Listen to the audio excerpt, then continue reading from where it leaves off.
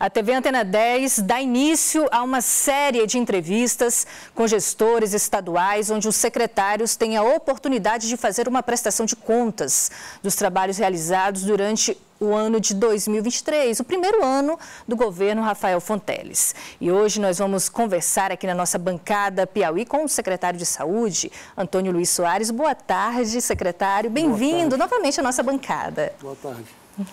Secretário, a gente é, sabe que várias ações, vários programas foram lançados durante o ano. Eu queria começar especialmente sobre aquele é, que pretende, pretendeu ou pretende ainda diminuir a fila de espera para cirurgias eletivas. A gente sabe que durante a pandemia, né, houve aquele, aquela contenção, não foi possível fazer e a fila de espera para esse tipo de cirurgia aumentou muito. O nome do programa Saúde em Dia lançado em março. De lá para cá, como é que estão as filas de espera, secretário? Veja só, nesse programa Saúde em Dia, tinha duas metas. Uma das metas é zerar a fila que estava represada mesmo desde antes da pandemia. Com a pandemia, aumentou a quantidade de pessoas na fila, que chegou a um número de tempo de espera médio de 454 dias. Pegamos quase 15 mil pessoas que estavam represados em fevereiro e a meta era, em outubro, zerar essa fila. Bom, quase foi zerada, em 12 hospitais zeramos a fila, mas ainda há alguns casos que são mais complexos, que aí depende de material mais caro, de material mais é, difícil de encontrar, e a, a cirurgia não é, não é tão simples, que aí demora mais tempo para fazer e só faz no HGV ou, em alguns casos, no HU. Então, para o Estado, nós zeramos nossa, nossa meta, mas para a fila do Estado, que eram quase 15 mil, ainda precisa que a Teresina faça parte dela, usando também o hospital da rede municipal e também o HU, que é o federal, mas ele presta serviço para a FMS. Então a fila do Estado praticamente foi zerada. A segunda meta é reduzir o tempo de espera para a média de 60 dias. Então, nós estamos trabalhando nessa meta para que o ano que vem, no começo de janeiro, consigamos realmente que todos os hospitais eh, estaduais façam cirurgias, como estão começando a fazer, voltar a fazer cirurgias. Estamos falando com alguns municípios também, como lá em Paulistana, como também lá em Cocal da estação, para que façam cirurgias de tal maneira que o tempo de espera não ultrapasse 60 dias. O tempo preconizado pelo MS é em torno de quatro meses é o tempo máximo de espera.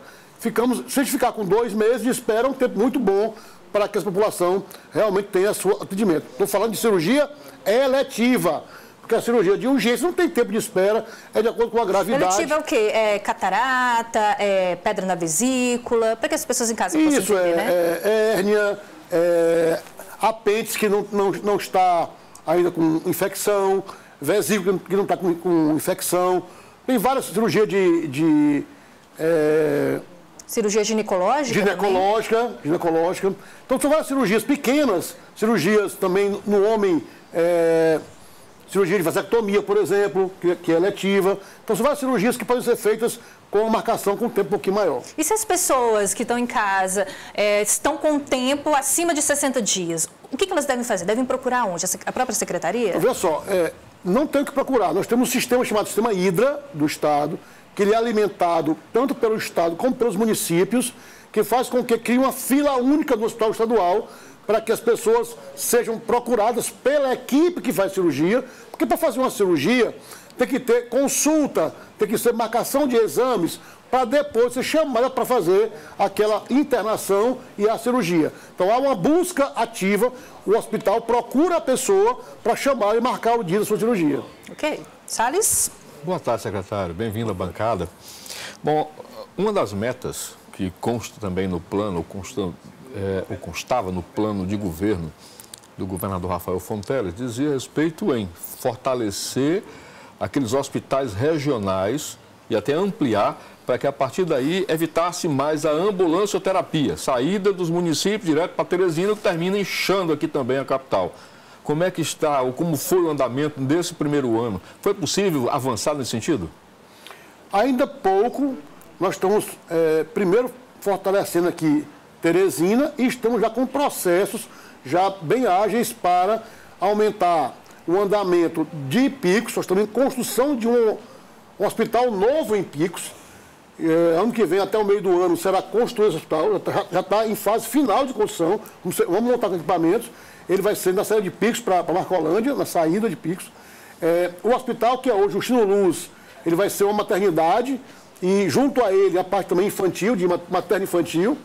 Então, o prefeito de Picos é, cedeu para nós o, a, o terreno da UPA então, montando a UPA lá em Picos, é, agora licitamos para uma reforma e ampliação de Parnaíba e estamos ampliando também Floriano. Já está em fase de construção e ampliação para, no começo do ano, já começar a inaugurar mais 80 leitos de enfermaria em Floriano. Então, estamos trabalhando, ah, estamos comprando já, para receber lá em janeiro, duas máquinas de hemodinâmica, para que o Hospital HGV consiga fazer mais procedimentos que envolvem cateterismo ou aquelas angioplastias. Parnaíba, por exemplo, vai receber uma máquina de, de hemodinâmica para poder conseguir é, agilizar esses exames do coração neurológicos ou é, de veias nas pernas. É, então, nós estamos tentando ampliar, nós abrimos a, a UTI Campo Maior, abrimos uma UTI lá em Bom Jesus e até o ano que vem vamos abrir UTI em Corrente e em Uruçuí. Então, as UTIs, elas elas facilitam, elas permitem eu ter cirurgias de média e alta complexidade é, em hospitais que têm UTI. Quando não tem UTI já é mais complicado, aí tem que levar para o hospital mais é, qualificado. Floriano, Picos e Parnaíba vão ter a mesma qualidade de serviço que tem aqui em Teresina, para que as pessoas, pelo menos as macro-regiões são quatro, que é a sede de Teresina, a sede de Parnaíba, sede em Picos, sede de Floriano, recebam as pessoas e tenham o mesmo atendimento da capital de tal maneira que eu consigo reduzir o deslocamento para Teresina. Com licença, Sayuri, mas você falou nessas macro-regiões, beleza, mas nós temos ali mais o extremo sul. Aí a gente vai ter que olhar ali para Uruçuí. Seria o atendimento, seria Bom Jesus? Ali Corrente, por exemplo, seria Bom Jesus? Olha só, Floriano é daquela região lá, certo? Tá. Só que nós estamos melhorando. Já botamos uma UTI lá em, em Bom Jesus. Vamos colocar até o ano que vem uma UTI em Uruçuí ah. e uma UTI em Corrente. Perfeito. Então, já tem cirurgias em Corrente? Já mas são cirurgias de baixa complexidade, não são de alta complexidade, média, média, média e baixa. Vamos colocar agora o UTI lá até o ano que vem para que tenha condições de fazer cirurgias mais complexas. E também o Uruçuí. Lá não justifica, pela população, ter UTI, mas o vazio existencial, a distância é muito grande, que nós, nós, temos que botar um UTI lá para que as pessoas não, não, não, não precisem se deslocar com tamanha distância para atender em Floriano.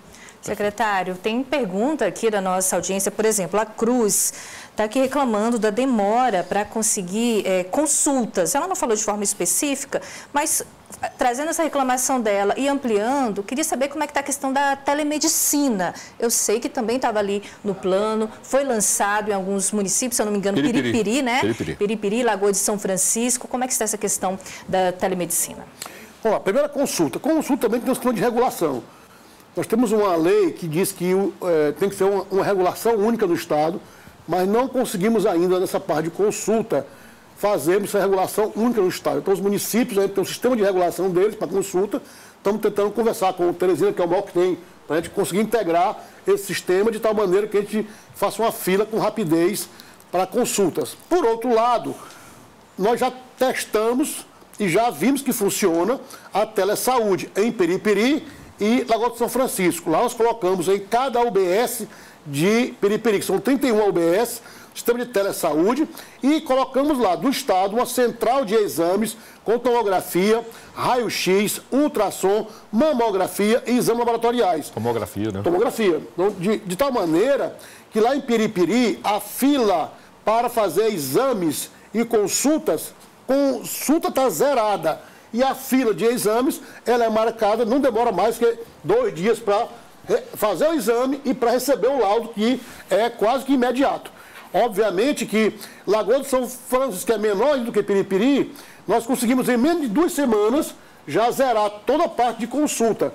Lá não tem uma central de exame, porque eu não consigo fazer em cada cidade uma central de exames, como tem em Piripiri. Vão ser feitos até o ano que vem 16 centrais de exames em cidades mais polos, como Piripiri, que já tem uma, Paulistana, Valença, Oeiras, Picos, Floriano, Corrente, Uruçuí, Bom Jesus, é, Castelo do Piauí.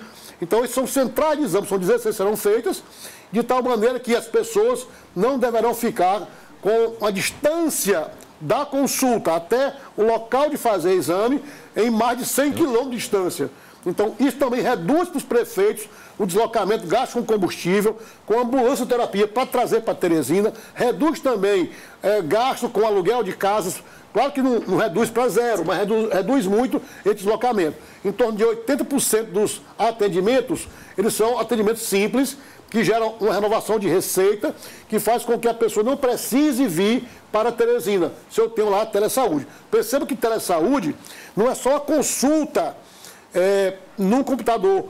O sistema que nós temos implantado em Piripiri, lá no São Francisco, permite que o agente de saúde, com um tablet, ele vá numa residência e se tiver 3G funcionando ou o Wi-Fi da residência, pode ser consultada a pessoa dentro da sua própria residência.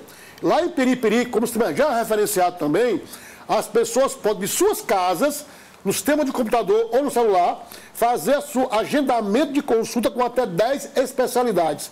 Então temos psiquiatria, psicologia, nutricionista, dermatologia, cardiologia, clínico geral e outras, são mais de 10 áreas que as pessoas lá em Piripiri e lá você já pode fazer consulta de sua própria casa, nem vai precisar deslocar até a UBS para fazer consulta. Obviamente que se precisar de algum procedimento físico, tem que ir para alguma unidade, um hospital, por exemplo. Quem não tem acesso, então, a computador, a celular, eles podem ir na UBS e assim conseguem fazer através do computador? Mas lá em Piripiri começou com as 31 UBS. Cada um tem computador, com internet, ah, com sistema de atendimento.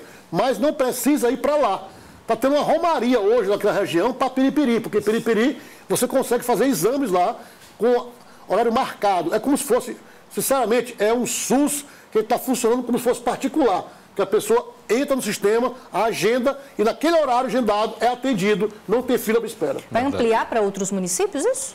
Já tem é, determinação para fazer expansão, estamos em contato com os prefeitos da região de Cocais e depois vamos ampliar para a região ali do Picos, Paulistana, Marcolândia, uma central de exames que vai, já está sendo, é, começar a construir agora em Paulistana, que vai ser uma central que vai, vai pegar Simões ali, Marcolândia, Excelente. uma parte da região. Perfeito. Bom, é, eu, nós fizemos, mostramos aqui uma reportagem exatamente sobre Piripiri, como funciona realmente a, a, população está lá satisfeita. Secretário, eu falei duas perguntas em uma, uma só rodada aqui. E elas duas são polêmicas. Primeiro, parabenizar pela maternidade, nova maternidade, Dona Evangelina Rosa. É, aquele problema em relação à gestão que gerou tanta polêmica mesmo. Está superado? E a outra, aquela compensação do Estado para a Teresina, que é cobrado pelo município, isso também já está resolvido? Como é que está isso hoje?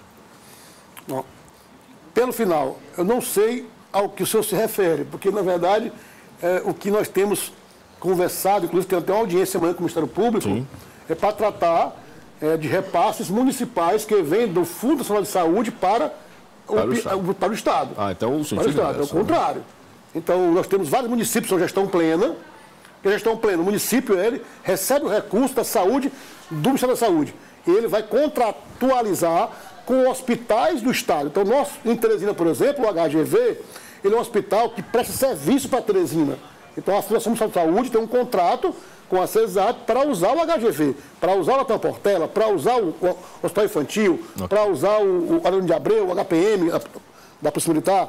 Então, eles recebem dinheiro do SUS e tem que repassar para a gente. Então, esse nós estamos discutindo, é, por que tem algum atraso nesse repasse, e isso dificulta a gestão nossa. A primeira pergunta, com relação à forma de gestão indireta. Houve uma opção para colocar organização social sem fins lucrativos, porque a gente sabe que, inclusive tem parecer no TCU, dizendo que a gestão indireta em hospitais de grande porte, ela é melhor, é mais eficiente do que a gestão direta, exatamente porque muitas vezes tem problemas graves que tem que ser resolvidos com rapidez e a direta, que é a pública total, ela tem uma burocracia a ser cumprida que muitas vezes você tem que, às vezes, desviar um pouco da burocracia para atender, e isso não é bom para ninguém. Então, o OS, ela consegue, como ela vai para o direito privado, ela consegue, com maior rapidez, por exemplo, fazer uma compra de alguma coisa importante que precisa de, usar agora, ou de fazer, é, contratar profissionais de forma imediata para alguma coisa especial. Então, é muito mais eficiente a gestão da indireta. Obviamente que nós do Estado temos que ficar de olho, olhando o contrato que se faz com ela, olhando as metas, cobrando as metas, de tal maneira que não haja nenhum problema de desvio também. Porque a pessoa fala muito que OS tem a ver com é, corrupção. Mas corrupção ela existe com as pessoas. O que tem que fazer é aumentar os controles, controle externo, como o TCE, Ministério Público, a própria população. O Conselho de Saúde pode verificar se estão cumprindo aquelas metas contratualizadas. Então, não, é, esse problema de OS é uma questão que nunca vai ser resolvida de forma pacífica, mas é uma coisa que nós acreditamos, o governador também acredita, que resolve grandes problemas na saúde, que é o maior problema do Brasil hoje, é a saúde. Então nós temos hoje Parnaíba, que já está começando a melhorar muito com, esse, com OS, Campo Maior já está começando a melhorar muito, Bucambinho aqui melhorou muito, e a maternidade nova, que também é OS, que é, é do CI, que é Habilitar, que o CI já é uma referência nós temos lá 95% ou mais de satisfação de quem procura o CI. Então, a maternidade nova, que também é da mesma organização que é, gerencia a Reabilitar,